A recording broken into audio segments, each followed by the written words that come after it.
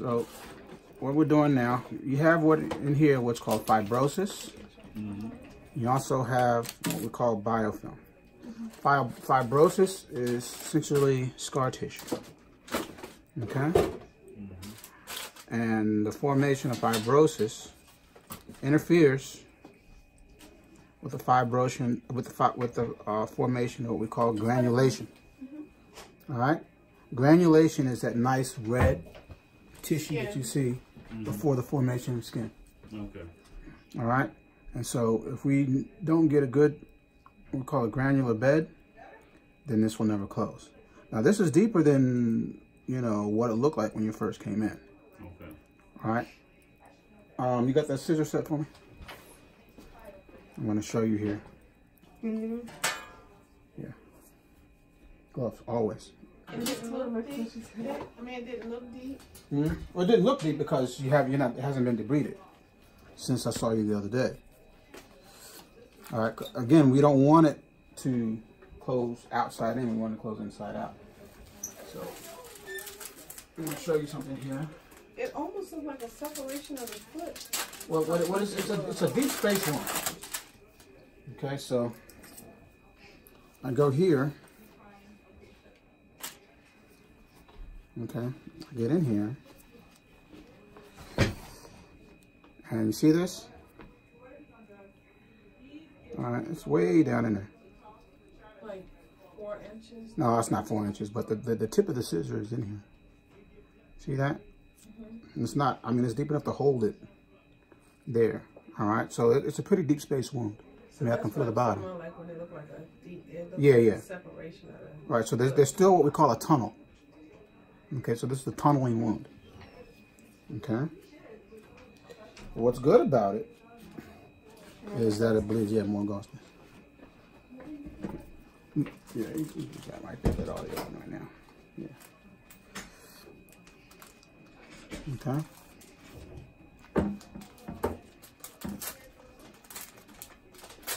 So it's bleeding, which is a good sign. Okay?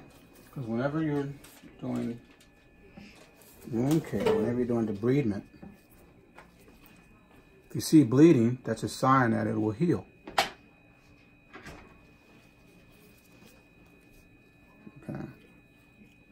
This is one of the most uh, encouraging signs that we that we look for when we're debriding a wound is, is uh, bleeding at the surface. Okay. All right, I mean, I've done these and we're cutting and cutting and nothing's bleeding. That means that, you know, the, the blood flows pretty much completely occluded. Yeah.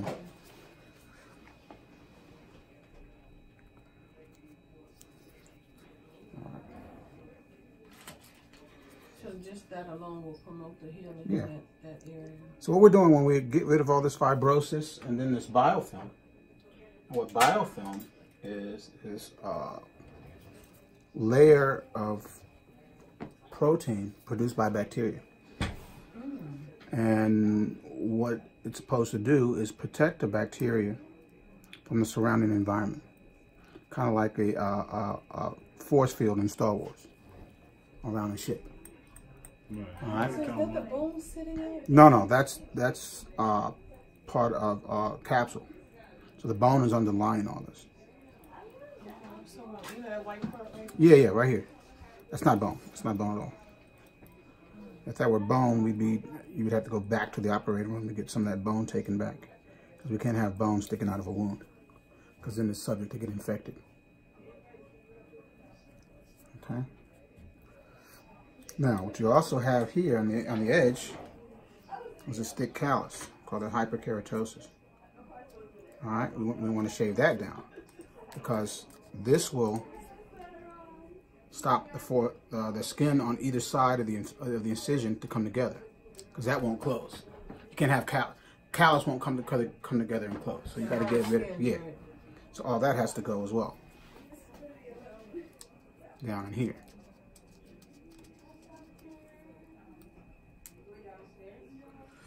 So, you know, so when I do these, patients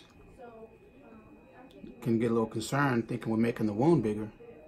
When actually what we're doing is revealing the true wound. All right, callus covers up, it hides, it masks. Mm-hmm. All right, so we got to take that down as much as we can. So you can see what's really going Yeah, on. this is so we can see what's really going on. All right, And you have to do it every time. Yeah, to just make about every time. that- I, I, I debride wounds probably 99 times out of 100. That's how you know it's healing Mm, from yeah. the inside out, Exactly. not the outside in. Mm-hmm. Just putting here. Just a little bit. Don't need much. Okay. Damn, such a waste. It is. Then we'll put Medicine has its perks, and then it has its. They created. Okay. This one go on here.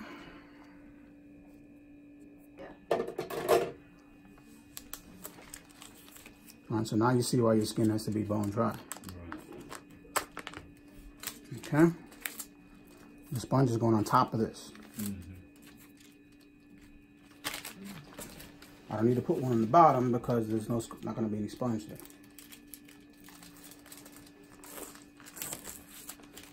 Aren't you glad you don't have to do this at home? Like they say on the TV, do not try this at home.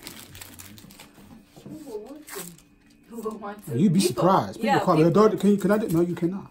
I told you before we started. Oh, you cannot. You're not the medical professional. You would be surprised what people do at home. you really would. Just go to YouTube and watch people do stupid stuff. Taking the darker stuff. Huh? This is the white sponge. Teeth? With teeth? Mm, yeah. Un- Unless you already, I'll take that. Yeah, let me have that.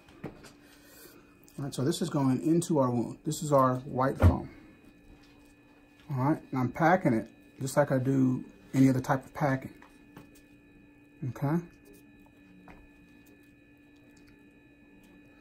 See the fluid? That's not coming from your foot. That's coming from the sponge. Mm-hmm. All right. I'm gonna, we're not going to use this for very long. Hopefully, we only need this for One or two times? well, well, yeah, a few times. That's why there's only five in the box. Oh, okay. And it's already starting to close because it's not as deep as when you first Yeah. came. Like when we first put in the order, we used the, your measurements from the first visit. Okay, and now we need uh, scissors. Who's got gloves on? Me. Oh, yeah, good. Finger right here. Oh, your job. You going to Control the to bleeding. control the bleeding.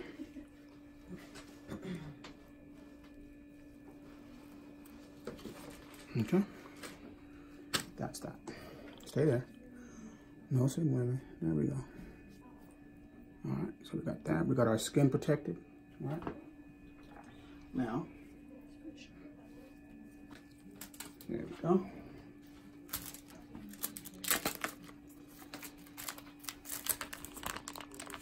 I don't get to go home with you. No. So my fingers are not gonna get stuck.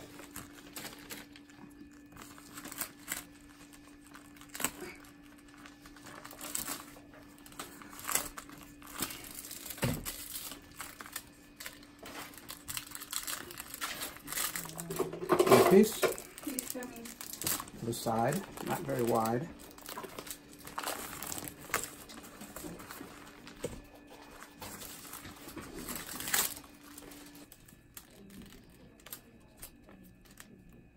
Like the only thing you would have to do, if it ever came to that, is change the canister. Mhm. If it was autumn full the All right, little scissor. Turn, turn the machine on. We ready to go here. Okay, so now we cut a little hole in the top. Okay. For our sensor track pad.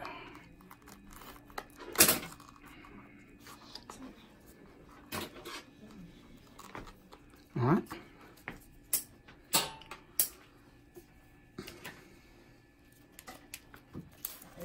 so difficult. So this always goes tube up. All right, Erica? Okay. Tube always goes up.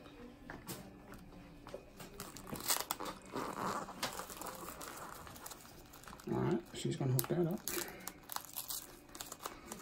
Remember, um, Oh, We'll go through everything once we get everything going. Let's make sure we got a good seal here. okay. All right, see what we got.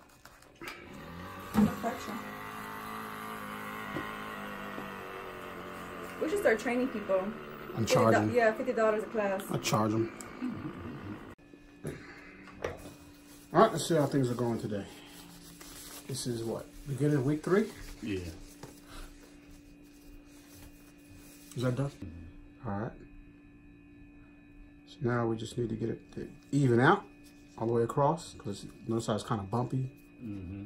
you know. So when it, when it evens out, it'll really start to pick up.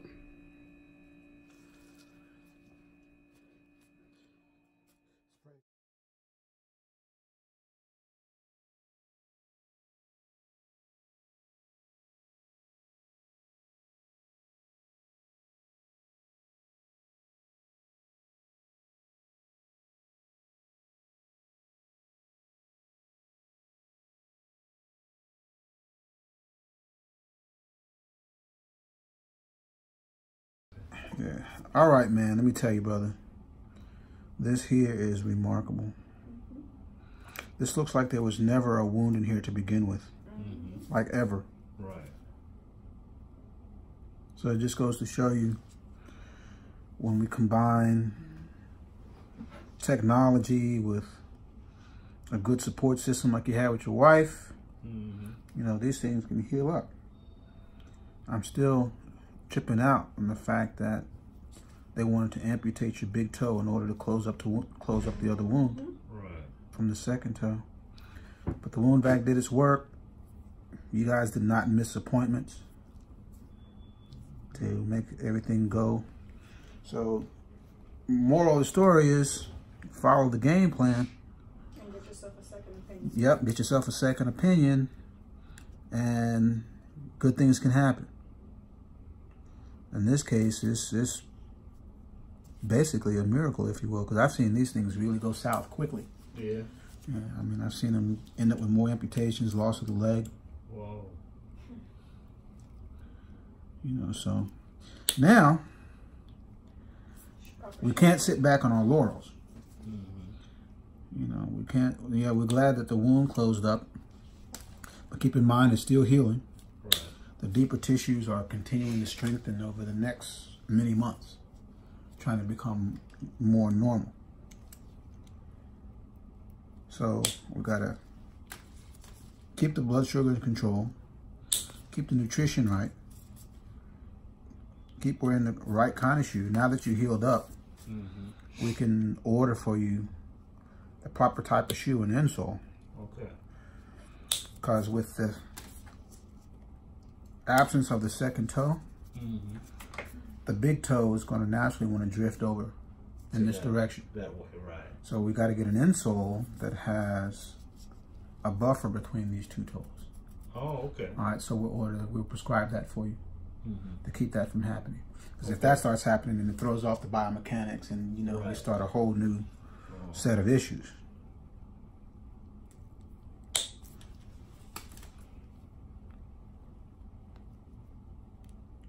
I'm glad for you, man. Yeah. Kudos to the wife for being diligent. Married men live longer. Mm-hmm. Tell Anthony that. Tell that. Anthony that. I was just about to say, tell Anthony that because right Let's now he's that. not about to be married in two months. No, married men. There's a reason why married men live longer, man. Check a game chess. You need yeah. that to protect Yeah, that's key. what I take care of. She took care of me. Mm-hmm.